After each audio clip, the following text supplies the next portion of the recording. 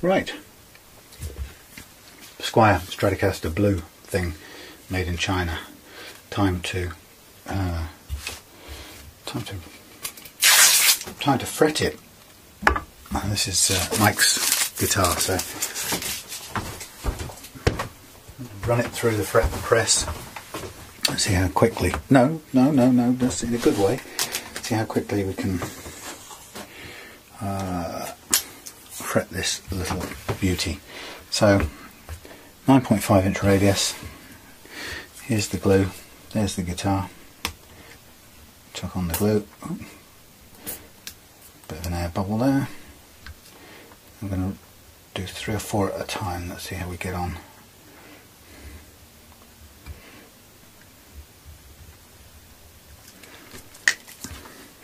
So I'm going to get the get the glue into the slot as evenly as we can. Again, a sort of last minute check to make sure the slot's clear and as open as it can be. Oops.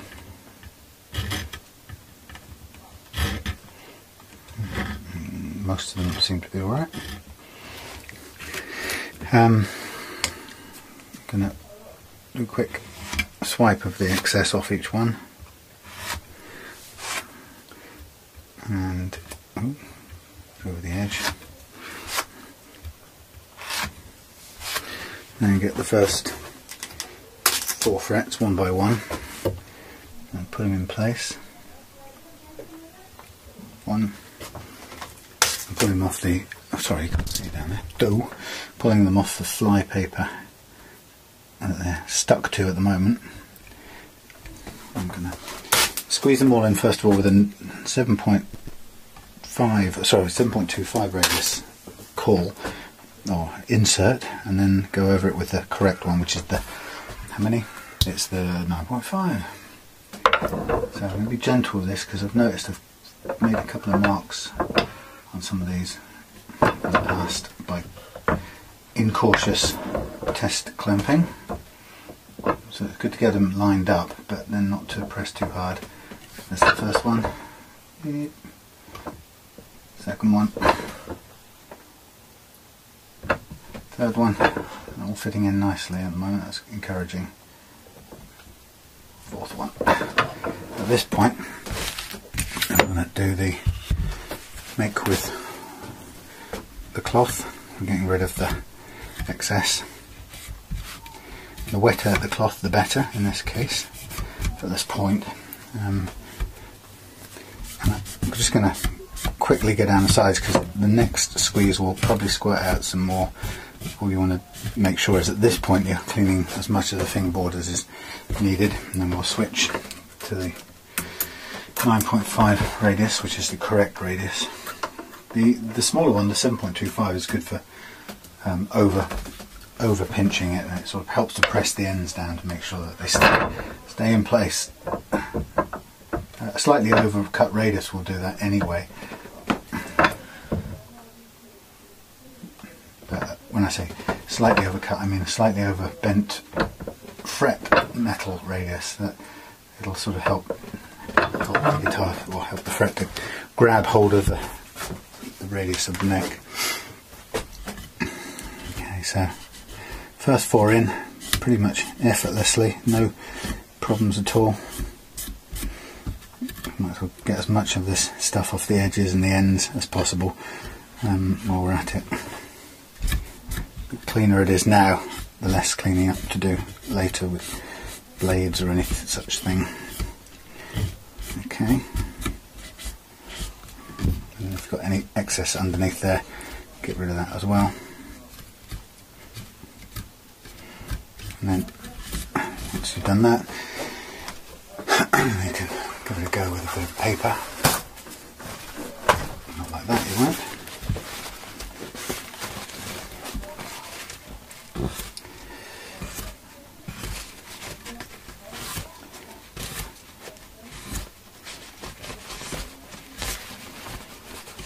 There we go.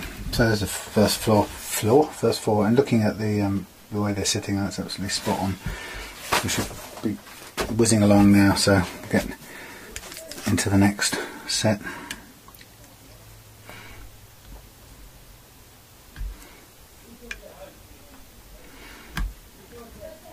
This is the sort of epitome of easiness, the fact that it's a, um, a removable neck and it's a God, it's a simple consistent radius all the way along so that makes this part of the job easy. The only difficult bit in this is when you get up to where the neck thickens up into the, the heel. Um, it's quite hard to get that into the press. You have to support it in different ways, but generally speaking, this sort of uh, or this bolt-on neck is removable neck is a pleasure to fret because it's so much easier.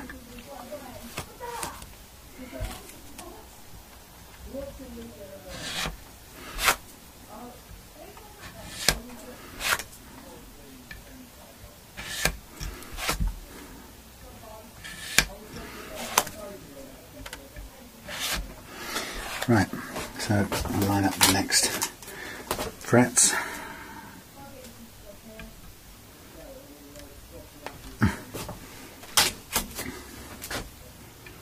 The thinly spread stuff, it can glue can uh, dry very quickly, so we want to be either pressing these down pretty fast, or if we don't, then we want to give the board a quick wipe to get rid of this thin layer of glue because it will just make a thin film which we don't want. So if we're confident we can get it through the press quick enough or if we're not I recommend it. At this point you just give it a quick water down. Give us a, a few minutes respite now we get it in again this is the easy part supported by the this cork and wood neck cool thing, which I did handy. Squeeze it down. Oh, I'm on the wrong size here. Okay, well we've gone for the, the 9.5 squeeze first. We can go to the tighter one afterwards in this case. So there's all, all of them squished in.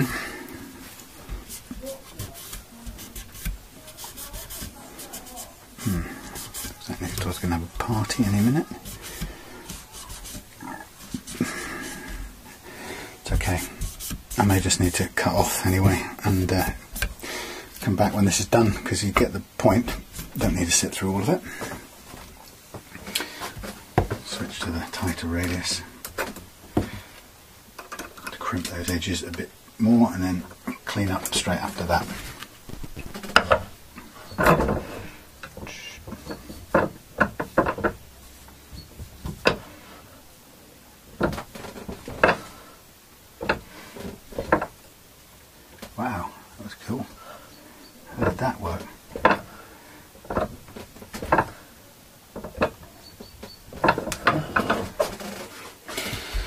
Okay,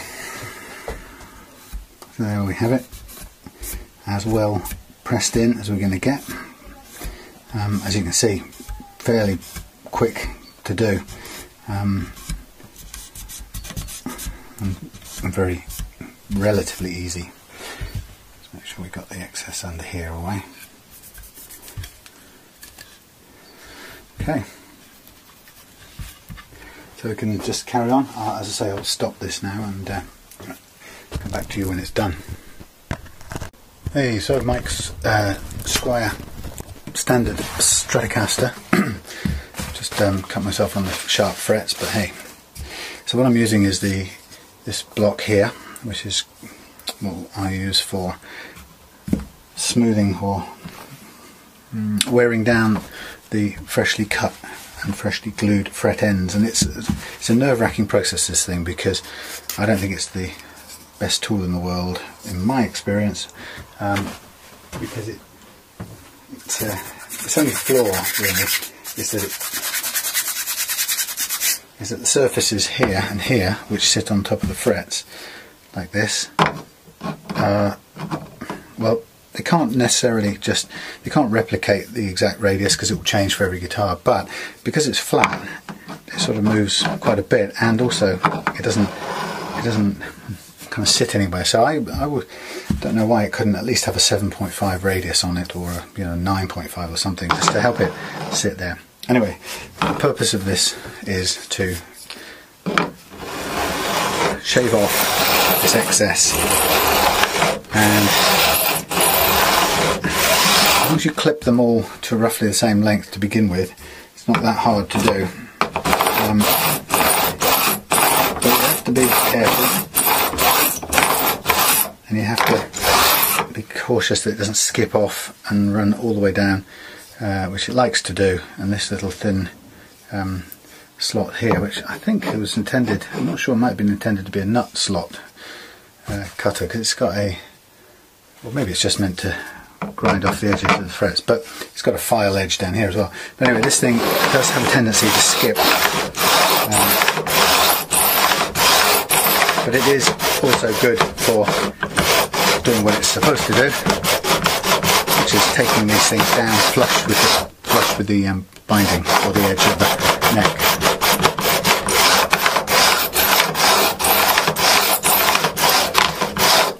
Um, I'm always nervous of this because it feels like it's trying to.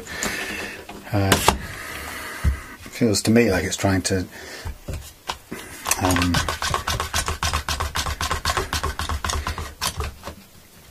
what does it feel like it's trying to do? It feels to me like it's trying to.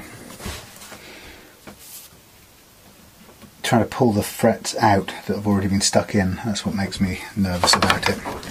Um, I'm sure it isn't, but it's you don't want to ram it into one that's already been stuck in. So if you feel it come up against the stop, then stop and come at it from the other side like that.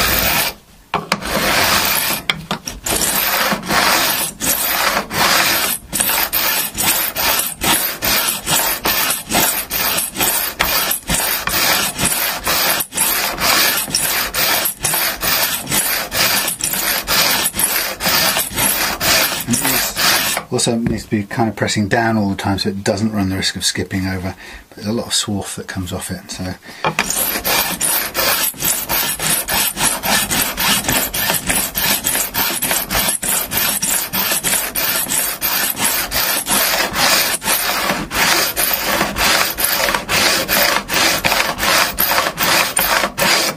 You'll know when you've uh, reached the edge, it'll start just scuffing up the um, the lacquer on the edge.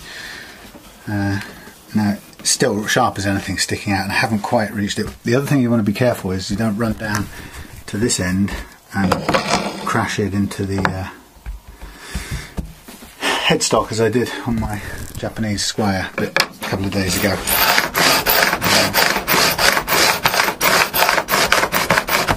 Ah, just bashed in into the uh, into the fret, but it's all right. Okay, I feel now that it's getting right to the edge of the little bit of cutting, but it's really right near the edge, and we'll start scuffing up the binding or the lacquer. The problem is, is you're tempted to lift this up to make sure it cuts everything, and then it skips across. So try to resist that temptation.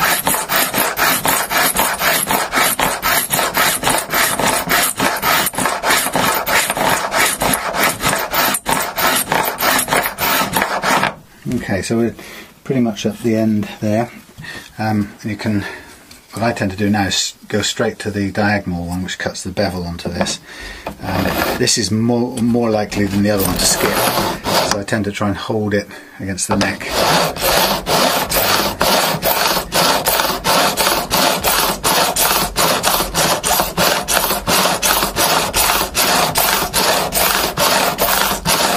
Necks I've done so far, I've only managed to do one that I haven't skipped and scratched the top of the frets. It's not the end of the world if you do, because of course we're going to resurface those frets anyway. Uh, peace of mind would much rather not do that.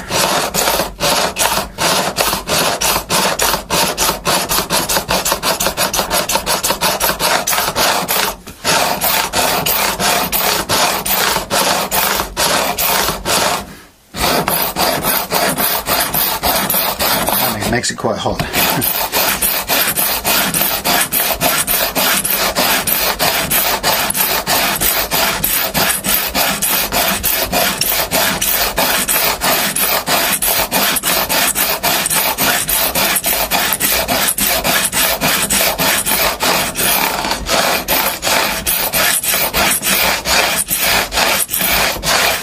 so we're pretty much there. Um, my feeling is once you've taken put the bevel on it, you also probably uh, you could go down again with the flat edge because there's probably a little bit more to square off here. Um, not a hell of a lot actually, just a little tiny bit, um, and then back with the, the bevel edge again. So that's one side nearly done.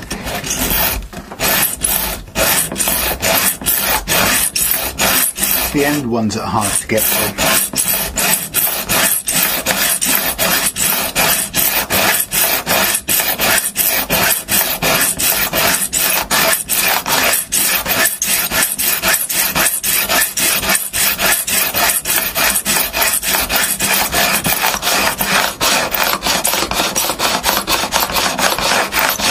That's pretty much as good as it's going to get on one side. So, um, we'll switch it over. I'll show you a close up. Loads of uh, metal swarf you can see, but we are really nicely levelled, uh, sorry, levelled, beveled. Um, I can see one fret that is sticking slightly higher on the edge and decided I am going to live with that and just fret level my way around it. Um, but this uh, business here of uh, putting a putting a clamp on this end with a bit of cloth just to protect it. It's not a bad idea. It's it's good to have part of this held at least fairly firmly. And there's no twisting or anything to go on, so it's not a problem structurally. Just uh, means we can put as much effort into it as we need without. Uh, it's not easy to get to actually. This one, right? I don't want to work. Um, back to front. Ah, Jesus, these things are deadly.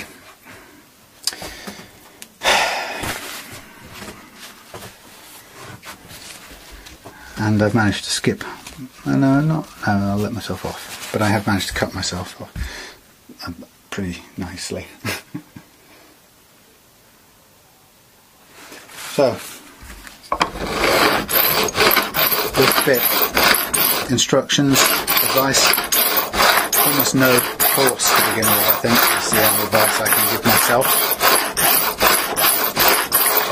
And watch, the fingers when you first start, because if anything's under there, you can do what I just did, which is ram it into the fret.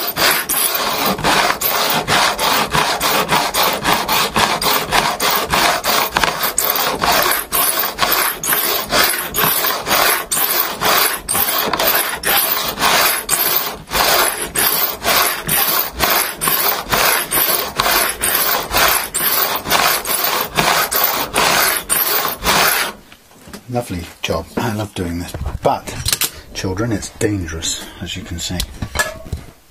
Bloody dangerous. Left-handed is probably not a good idea. But I have to get to this end. So I'm going to do it a bit left-handed and gently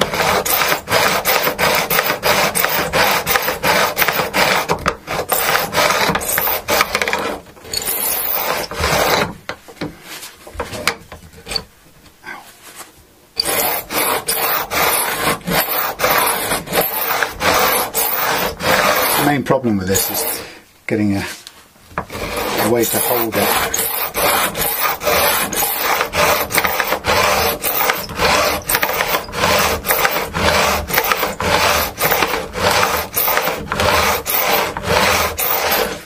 I'm just pulling in a little bit as I get to each at the end here each time just to catch the this one which is hard to get to with my left hand.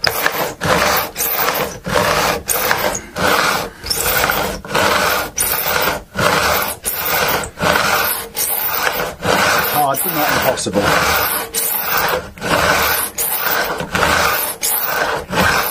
Right, I can feel that skimming off the uh, lacquer there.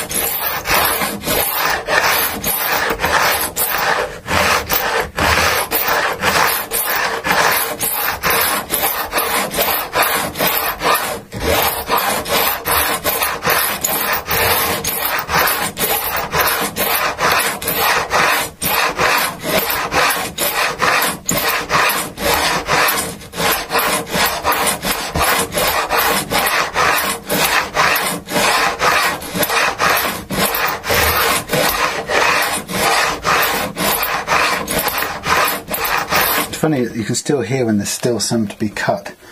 Um, so this tool, although it's a bit scary, um, the task is a bit scary, I'm, I think I'm going to get, going to buy myself an alternative version of this and try it and see if it improves the, uh, the process any. Because um, I'm finding this one quite hard, as you can tell. Hard and painful to work with.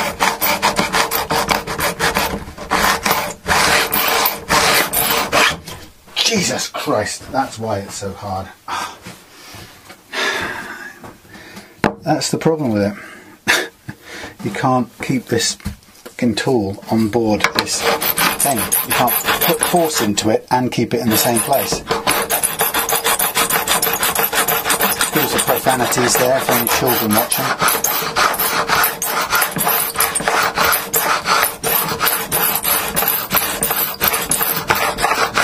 Problem. Keeping your fingers out of the way at the same time as doing this. Right, let's get the angles going.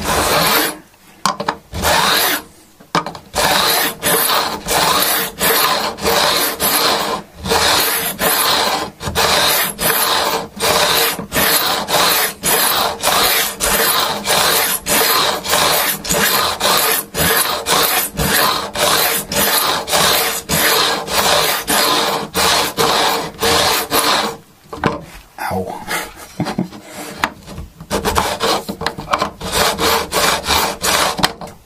See how it snatches at it? Not fun. See, and it just rides up onto it. That's that's what really annoys me.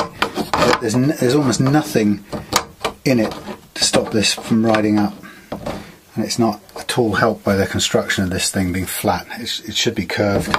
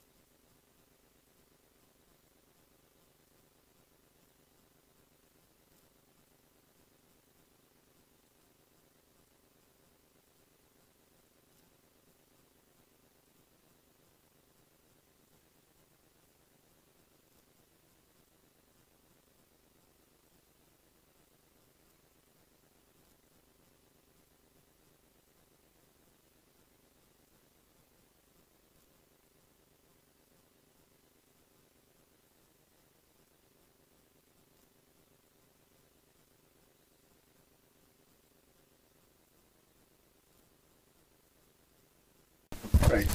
Well, I managed to um, record all of that with no sound, so apologies. um, okay. So, what have I done? I've levelled the frets um, as I expected.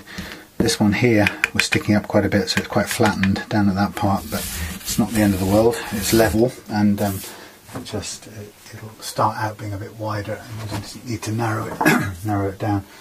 Um, so what I'm going to do is the same old, same old. Anyone watching this will have seen me do a billion times before, so it's it's going to be a matter of uh, masking off this fingerboard uh, so we can do the next two parts of the process, which is to reshape the frets and then to polish them out until they're finished and ready to go. Um, so it's always the way with this task. The the better you get those frets in the first place, the um, the less leveling you have to do, um, but you can't avoid it altogether. I don't think there's any situation where you're going to get it perfectly um, installed so there's no leveling. Uh, okay, so having got this lot on there, I'm just going to bring up my chopping board. I'm going to make, make myself some short bits which will allow me to do the whole neck. Um, and it's time consuming and boring. But if you haven't seen it before, then it shows you what to do. Sorry about the noise. Rip. So I'm just pulling four lengths of stuff, and there's minimum length. This is probably a little bit too short, this board, um, but I'm going to then cut. Uh, not with this thing, I'm not. Cutting these edges cleanly and then I'm going to cut lengthways get the right tool I'm going to cut lengthways and I'm going to get two of these pieces into strips of three and the other two into strips of two this I'll start with the twos at the top here um, it just doesn't have to be exact but it needs to be as straight as possible that's the main thing and that's not one way to do it that's just or is that Oh, this is hopeless. I'm just running up onto the... I don't know how I've managed to do this. Running up off the wood onto the al aluminium of this thing. Gee whiz. Time for a new rule. Soft metal. Probably not the best thing to use as a cutting edge. That's what I'm finding. Uh, also, this oak is probably not the best thing either. But it's all I've got kicking around at the moment But it really does cut very easily with a blade. Okay, so that's two of the sheets cut into twos, and then it's the, these two into threes, and then I'll just carefully mask off every bit of the neck.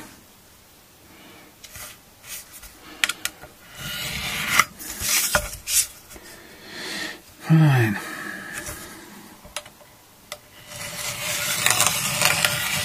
It's just going straight up onto the aluminium again. Aluminum, the little bits of swarf coming off. Honestly, what is the world coming to?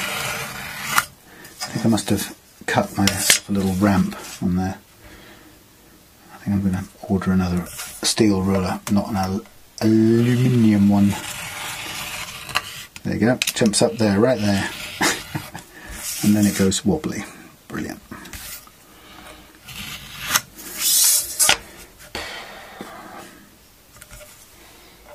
I discovered how soft or ineffective, there you go, up again, aluminium can be in this sort of use. Um, when my fret rocker made of aluminium wore out last year, and I ended up almost ruining a complete refret because I kept on going because it kept telling me there were still uneven frets and I kept on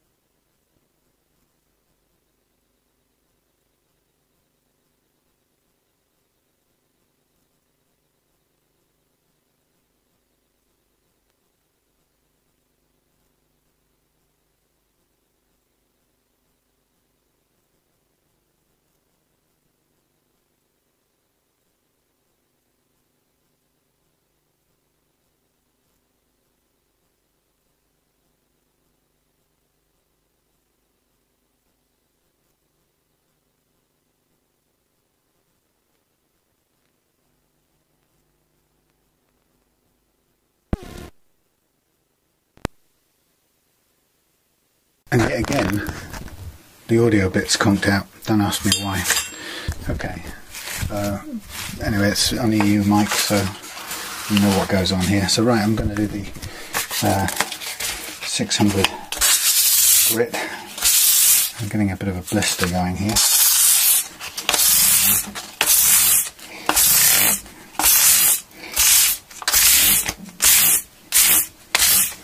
I think I'll uh,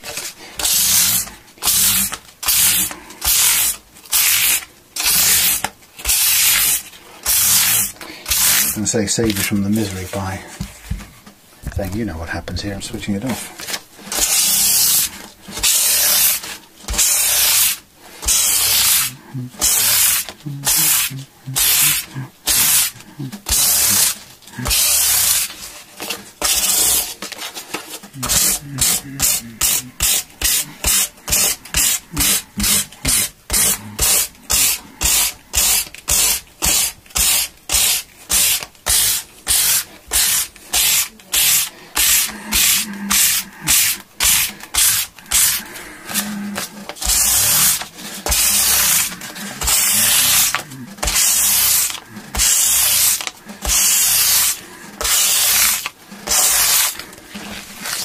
Make sure these edges are smooth as well.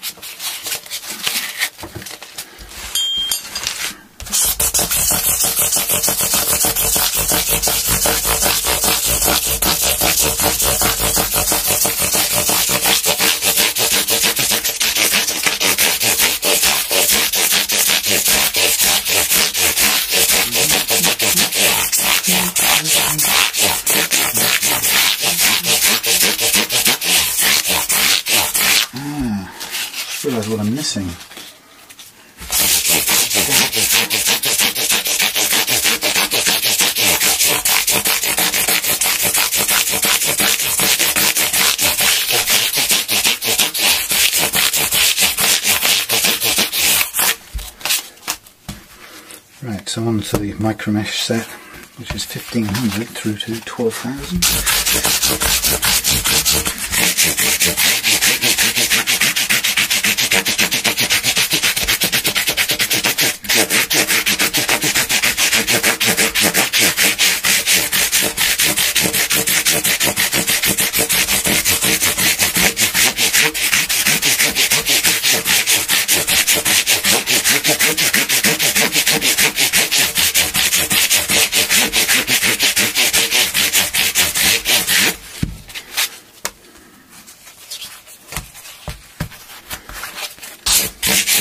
ハハハハ!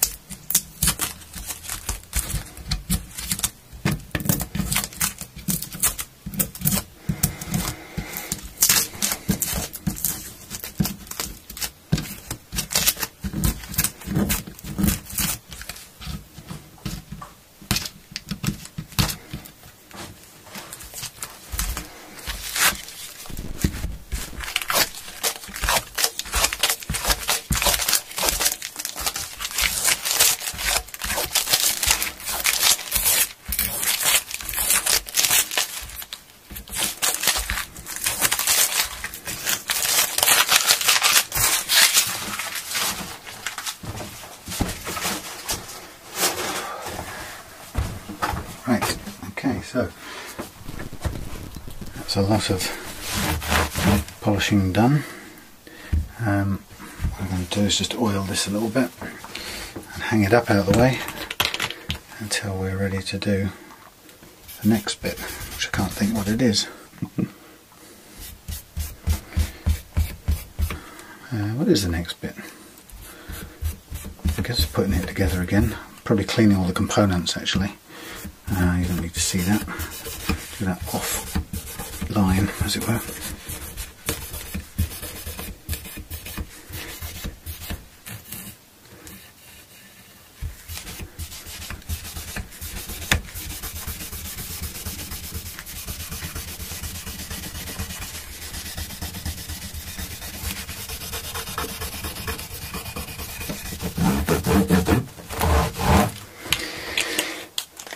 Lovely, jubbly. So you have it. Refretted, nice and smooth. Ready to go.